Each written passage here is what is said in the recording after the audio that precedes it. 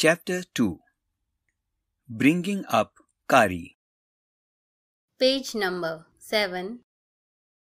Kari, a five month old baby elephant, lives and grows up with his nine year old friend and keeper. Kari doesn't eat much, just about 16 kilograms of delicious twigs a day. Playful and sensitive, Kari saves a boy from drowning. Kari, the elephant, was five months old when he was given to me to take care of. I was nine years old and I could reach his back if I stood on tiptoe. He seemed to remain that high for nearly two years. We grew together. That is probably why I never found out just how tall he was. He lived in a pavilion under a thatched roof which rested on thick tree stumps so that it could not fall in when Kari bumped against the poles as he moved about. One of the first thing Kari did was to save the life of a boy. Kari did not eat much, but he nevertheless needed 40 pounds of twigs a day to chew and play with. Every day I used to take him to the river in the morning for his bath. He would lie down on the sandbank while I rubbed him with the clean sand of the river for an hour. After that, he would lie in the water for a long time. On coming out, his skin would be shining like ebony, and he would sequel with pleasure as I rubbed water down his back. Page number 8.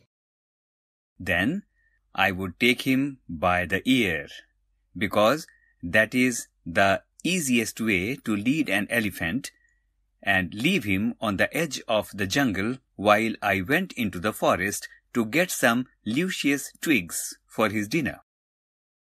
One has to have a very sharp hatchet to cut down these twigs. It takes half an hour to sharpen the hatchet because if a twig is mutilated, an elephant will not touch it. It was not an easy job to get twigs and saplings for Kari. I had to climb all kinds of trees to get the most delicate and tender twigs. As he was very fond of the young branches of the banyan tree, which grows like a cathedral of leaves and branches, I was gathering some one spring day in March when I suddenly heard Kari calling to me in a distance. As he was still very young, the call was more like that of a baby than an elephant. I thought somebody was hurting him. The words here are luscious, means tasty and sweet smelling. Hatchet means small axe. Mutilated means torn awkwardly or disfigured. Page number 9. So I came down from my tree and ran very fast to the edge of the forest where I had left him, but he was not there. I looked all over, but I could not find him. I went near the edge of the water and I saw a black something struggling about its surface. Then it rose higher, and it was the trunk of my elephant. I thought he was drowning. I was helpless because I could not jump into the water and save the 400 pounds of him since he was much higher than I. But I saw his neck rise above the water and the moment he caught my eyes, he began to trumpet and struggle up to the shore. Then, still trumpeting, he pushed me into the water, and as I fell into the stream, I saw a boy lying flat on the bottom of the river. He had not altogether touched bottom but was somewhat afloat. I came to surface on the water to take my breath, and there Kari was standing. His feet planted in the sand bank and his trunk stretched out like a hand waiting for mine. I dived down again and pulled the body of the drowning boy to the surface, but not being a good swimmer, I could not swim ashore and the slow current was already dragging me down.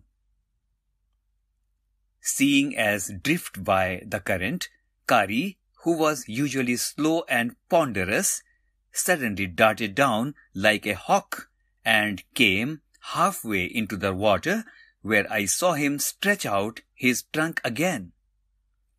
I raised up my hand to catch it and it slipped. I found myself going under the water again. Page number 10. But this time I found that the water was not very deep. So I sank to the bottom of the river and doubled my feet under me and then suddenly kicked the riverbed and so shot upwards like an arrow, in spite of the fact that I was holding the drowning boy with my hand. As my body rose above the water, I felt a lasso around my neck. This frightened me. I thought some water animal was going to swallow me. I heard Kari squealing, and I know it was his trunk about my neck. He pulled us both ashore. 1. Kari becomes fond of ripe bananas. 2. He believes in self-help much to the discomfort of his friend. 3. With quiet dignity, Kari accepts the chiding he knows he deserves. Kari was like a baby. He had to be trained to be good, and if you did not tell him when he was naughty, he was up to more mischief than ever. For instance, one day, somebody gave him some bananas to eat. Very soon he developed a great love for ripe bananas.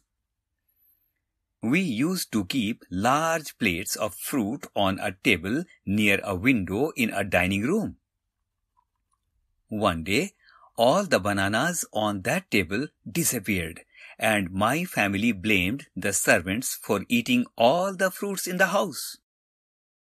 A few days later, the fruit disappeared again. This time the blame was put on me. And I knew I had not done it. It made me very angry with my parents and the servants, for I was sure they had taken all the fruits. The next time the fruit disappeared. I found a banana all smashed up in Kari's pavilion. Hmm, this surprised me very much for I had never seen fruits there and, as you know, he had always lived on twigs. Next day, while I was sitting in the dining room, wondering whether I should take some fruit from the table without my parents' permission, a long black thing very much like a snake suddenly came through the window and disappeared with all the bananas. The words here are lasso, which means rope with a noose at an end. Page number 11. I was very much frightened because I never had seen snakes eat bananas, and I thought it must be a terrible snake that would sneak in and take fruit.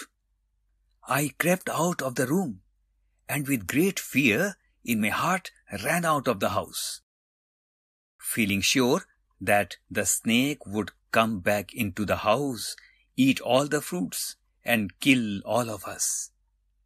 As I went out, I saw Kari's back disappearing in the direction of the pavilion, and I was so frightened that I wanted his company to cheer me up.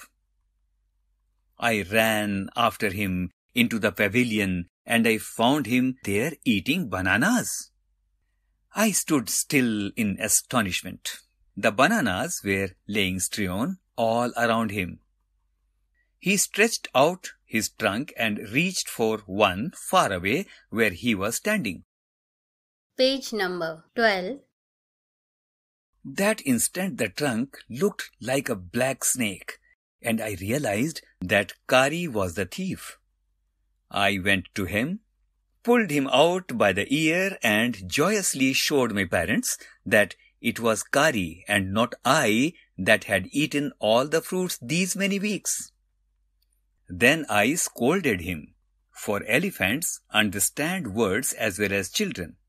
And I said to him, Next time I see you stealing fruits, you will be whipped. He knew that we were all angry with him, even the servants. His pride was so injured that he never stole another thing from the dining room.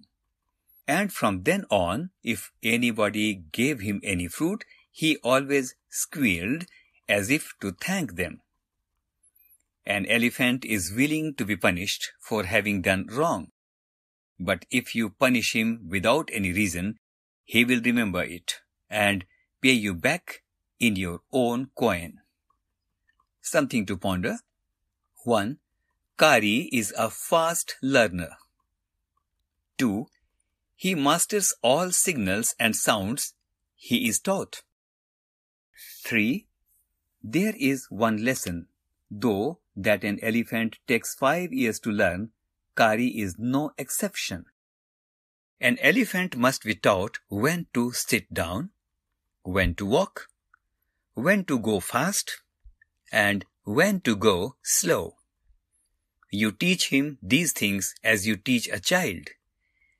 If you say, Dhat, and pull him by the ear, he will gradually learn to sit down. Similarly, if you say, Mali, and pull his trunk forward, he will gradually learn that it is a signal to walk. Kari learned Mali after three lessons, but it took him three weeks to learn Dhat.